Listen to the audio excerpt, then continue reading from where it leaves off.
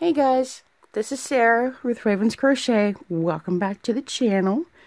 I'm so glad you guys, I hopefully, are doing very well today. Happy Monday, by the way. Um, so my name is Sara, and my furry feline raven is here. I'll lift up the camera. You guys can see her. Maybe. Nope. Okay, she's already out of frame. she's walking around waiting for me to love on her. I gave her her morning treats and her breakfast. I had my coffee. So now here I'm doing this tutorial for this beautiful lace stitch. this is the stitch I kept talking about on my channel for the past, I don't know, two weeks. Um, I'm only halfway done with the scarf. I'm not going to finish it because I'm just so anxious to get this tutorial out to you guys.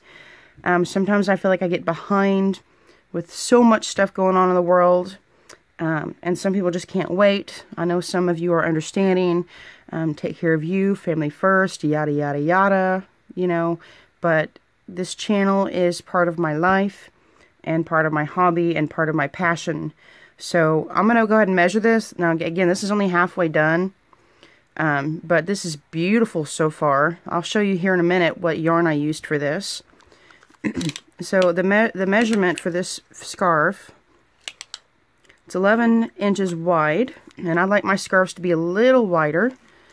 I'm going to fold this in half and then quadruple the number so I can tell you what the finished scarf size will need to be. So 14 inches, that's 28 inches, 56 inches. It's just underneath 60 inches long. We'll just go with 30, 60, yeah. We'll go with 58 inches long is, is how long this scarf is going to be once I'm finished with it. So again, 11 inches wide by 58 inches long. And I like wider scarves, like I said. You start with your base chain on a multiple of 4 plus 3. And I'll explain that here in just a second if you're not familiar with the multiple terms. I have 10 shells across, and these are pretty much 2 double crochet, chain 1, 2 double crochet. You're going to skip 3 chains on the base chain row, and then you're going to work into your fourth chain, 2 double crochet, chain 1, 2 double crochet, skip 3, repeat. The very beginning and the very end of each row, you're just going to have 1 double crochet. And when you start your next row, you're going to chain 3. That's going to count as your first double crochet for each and every row you work your first shell on top of the previous shell from the previous row. So let's get started. Here's the yarn I used. Stylecraft Amore. This is an Aran worsted weight number 4. It's 60% premium acrylic, 40% superwash wool. You still don't want to dry this. Any type of wool I hear recently does not like heat. So I'm going to I'm going to um forward that to you guys in case some of you don't know. Anytime, anytime you're you're working with wool, from my opinion, if it is more than 20% wool, I would recommend gentle washing or hand washing and then laying flat to dry. If it's like 15% wool or less, I wash it like normal. And, and as long as it's mostly acrylic or nylon or whatever, it, it, it usually does fine. So, this little donut is 240 meters, 262 yards. It says Aran weight, that's a number four. But it's a it's kind of a thin four to me as I was working with it. It felt like it was between a three and a four, which is perfect because it gives it a, a more of a drape. I think it has beautiful drape. Very beautiful. And I will wear this. Once it's complete, I will wear this in one of my videos when, when I show myself again. And I'm also using a 6.5 millimeter hook. I love my tulips. Now I have to be extra careful today because I smashed my thumb at work last night. You can't really tell here in the video. But the whole entire nail bud was bleeding. I thought I lost my thumbnail. Like, no joke. So, cringe fact factor here. If you ever break a nail and it is just dangling by the cuticle, you have to pull the entire thing out in order for your nail to regrow properly. I learned that from experience. My next door neighbor, about 10 years ago, she was um, an ER nurse. And oh my gosh, she has saved me numerous times on ER bills. Big time. We're still friends. She's on Facebook. But she's busy, busy, and I'm busy, busy, so we don't really talk that much. But we catch up and talk every once in a while on Facebook. So, my scarf, I'll just go ahead and leave this here. So you guys can see the beautiful yarnness and everything. Um, the stitches are upright this way. Here we go. The stitches are, are, are, upright this way. So there's the bottom of the shell. Here's the top of the shell. And then the next shell is worked in right on top. And you're also going to need scissors. I like to keep my big giant coffee cup here. I only drink tiny cups of coffee. So I keep my scissors in here. Extra crochet hooks. There's one of my furls one of my yarny friends gave me. Here's a writing pen one of my yarny friends gave me. It's so beautiful. My little amethyst diamond. This is a pom-pom maker. I've got my back scratcher here. This one is cool. It kind of extends. Um, there's a, it's a darning hook, I guess, for the, the loom knitting tool. And I crocheted this little thingy to put my vape in it, but I don't even use it anymore. So anyways, I've got some tissue in there and stuff, but I keep this on my coffee table at all times. So I always, so in case I always need something, I can grab it real quick. so you're going to want to chain a multiple of 4 plus 3. So again, what that means is you want to chain 4 until you have the chain as, as wide as you want your project to be. And then chain 3. So chain 4 and a multiple of 4 plus 3. So I did, I chained 40 plus 3 on my scarf, so chain 43. But on this one, I'm just going to show you a sample stitch because I need to add this yarn to this scarf. But I wanted to show you guys how this yarn works up with this stitch. So I'm going to do a sample swatch here. I'm going to chain 17. So multiple of 4. 1, 2, 3, 4. Another multiple of 4. 1, 2, 3, 4. That's 8. Another multiple of 4. 9, 10, 11, 12. And then your plus 3. 1, 2, 3. So 12, 13, I have 15 stitches here actually. So we're just going to do a small, a small swatch here. Let me move this out of the way just a little bit so you guys can get a clearer background. You can still see the stitch and the beautiful yarn here. Get some yarn slack. okay, so I like to work in the back bumps. You don't have to. You can work underneath this top loop here, or you can turn your chain over and you can work right here in these back bumps. So what I like to do to keep the gap smaller is normally the, the um, normally general patterns will tell you when double crocheting you're going to double crochet in the one, two, third chain from hook. But I like to double crochet in the second chain from hook to keep that gap smaller. So there's one, two, yarn over, and I'm working my first double crochet in that second chain from hook. And then one more double crochet, chain one, two more double crochet. Okay, so that's one way to do it, but we're not doing it this way. Instead of restarting this video, I'm just going to ask you politely, please scratch that.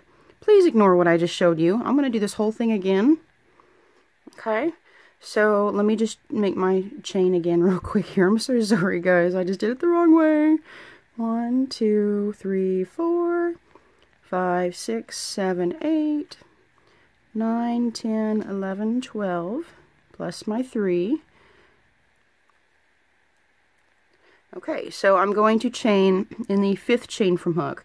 One, two, three, four, five. I'm going to turn it over and work into the back bump, yarn over, and work my first double crochet, work a second double crochet in that exact same chain you just crocheted into, chain one, and then two do, do uh, two more double crochets right here in that exact same chain. And here you've worked your first shell. So at the beginning of each row, you're going to want to have a chain one space, your double crochet, a chain one to skip over that chain one gap right there. You got your first shell. So now we're going to skip three chains, yarn over, skip one, two, three, and then into your fourth one, work your next shell. And I'm working into the back bumps on that chain, but that's personal preference. You're more than welcome to to um, work your first row normally or as you prefer into the front of the chain instead of the back bump. So two double crochet, chain one, two double crochet, and all on the same chain right there. Okay, I'm going to yarn over and skip three, one, two, three, work into the fourth chain. Another shell. Oops, I forgot to yarn over. Haha. Okay, try that again. Yarn over. One double crochet. Two double crochet, chain one, and two more double crochet. yarn over. We are always going to have two chains left. Yeah, one and two. So work one double crochet in the very last chain at the end of your row. And this is what your row will look like. Now I know the bottom looks funky, but the wider your project is, the evener it will work out as you keep going rows. This is the bottom, the one I started with and it looks really good. It's all evened out. It's not gappy and loopy. There's no extra stitches hanging down. It looks very nice. So it will all work out evenly like that once you keep going and get some more rows on. So this is a one row repeat. Super, super easy. Here's what you're going to do on every single row. You're going to chain three, turn your work. And one thing I love about this stitch is you don't have to work in any of the loops except for your base chain. Once you get your base chain done, your base row, you're golden. So you're just going to fly through this pretty much. You're going to work in the tops of these shells in the chain one spaces. And that's one thing that makes it so easy for beginners because you don't have to fight your hook as you're learning to hold your yarn and work your stitches. You don't have to fight your hook into those smaller stitches. You just have a chain one space to work into I just did my first shell. Two double crochet, chain one, two double crochet, yarn over and go right into the next shell. And do two double crochet, chain one, two double crochet. Yarn over, go right into the next shell, two double crochet,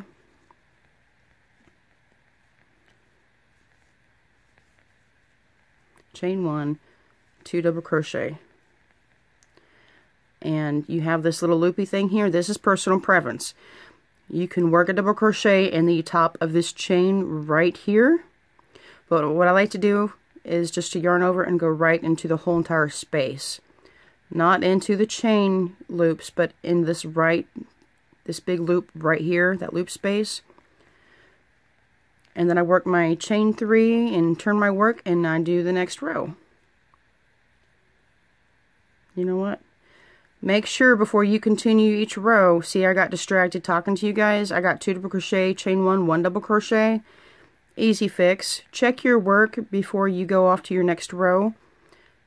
I highly recommend that. And I have gotten myself into the habit of doing that. I try to check my work at least at least bare minimum every two to three rows so that way I'm not having to frog back that much work in case I do make a mistake. Please, please, please check your work before you move on to your next rows, especially if you are a beginner. Okay, let me get some more yarn slack. This yarn is so pretty. It's so squishy and soft and it just bounces back.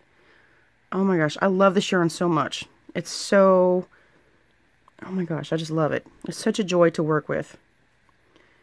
Okay, so let me gather up my work here.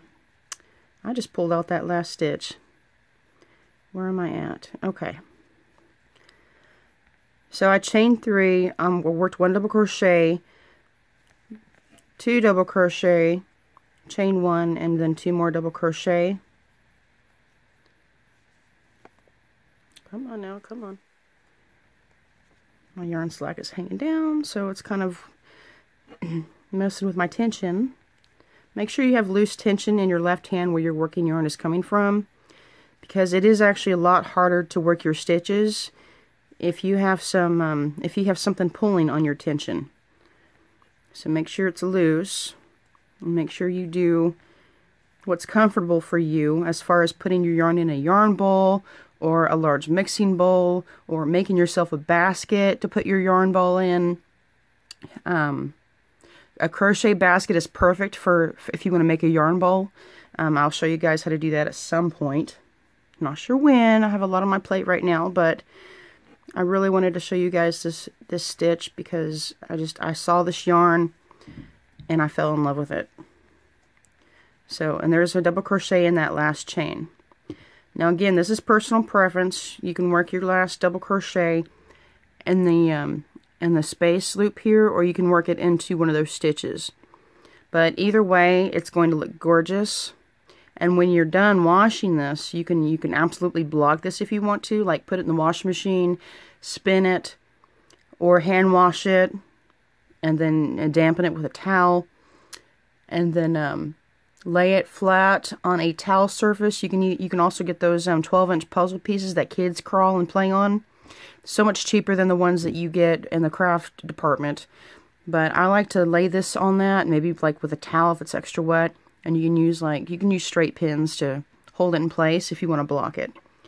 So here is the stitch. Again, one of my favorite stitches, and I hope you guys enjoy working this stitch. If you have any questions, please feel free to drop them in the comments below, or you can send me an email, ravenscrochet21 at gmail.com. Now, I don't check my email every single day. I'll go ahead and, and make note of that to you guys. I check it at least three to four times a week, though. So I'm on it. I'm just not on it every single day. Um, I do have a full-time job that I love, and um, and you know home life and everything, Raven and family and stuff. But um, again, if you guys have any questions, please feel free, and I will get back to you as soon as I can. I do go through and read everybody's comment. And then um, stay tuned. My next video coming is some more Happy Mail. And, and then after that, you guys, you guys will see me wearing this scarf. I'm not sure if I'm going to put a border on this, though. That's one question I had for you guys myself. Is I love how it is on the frame. And here is the side. Here's what the side looks like when you're, um, see, I'm just going into the spaces here on the sides. I'm not chaining I'm not doing my double crochet in that top chain right there. I'm just going into the whole entire loop. And I think it looks pretty. If I wanted to do a border, I would do double crochets all the way around the edge. I would do maybe two double crochets here, one double crochet, two double crochets, one double crochet, and I would alternate. In the corner, I would do two double crochet, chain two, two double crochet, just like a granny square, except for granny squares have three double crochet, chain two, three double crochet. I'm just going to do two double crochet, chain two, two double crochet. But anyways, I'm not sure if I want to put a border on this or not because here's the top edge. And then y'all saw the bottom edge. So they do look a little bit different. So if you feel like I should put a border on this, please feel free to comment. Um, but I'm thinking about leaving it like this too because it still looks just as gorgeous I'm just, I'm not sure. I'm undecided. I have a couple more days to think about it. Um, as I will be working on this before I go to work today, and hopefully I'll be working on it tonight when I get home from work. But that's all I have for now, guys. I hope y'all are having a fantastic week so far. Please stay tuned to my next videos. If you haven't already, please subscribe. I have been sitting at 143 subscribers for like two weeks now. So if y'all could spread the word out, maybe hit up your social media platforms. Um, tell your other Yarny friends who may not know about this channel. Please spread the word. Please spread the love. Um, give me a like on this video. If nothing else, just hit the like button. And seriously, seriously, and sincerely too. I almost said those two words at the same time. Um, thank you guys. Thank you, thank you, thank you. I hope you guys like this tutorial, the stitch tutorial. And if you make anything, please feel free to email me a picture. I love to see what you guys are making. If not, then if you are familiar with Franny's channel, go send her a picture of your finished makes to Franny's channel, and she, as she does show and tells on on her on her um, channel, and so everyone can see what everyone's making. So again, thank you guys so much. I hope you guys are having a great one. Love y'all. Bye bye.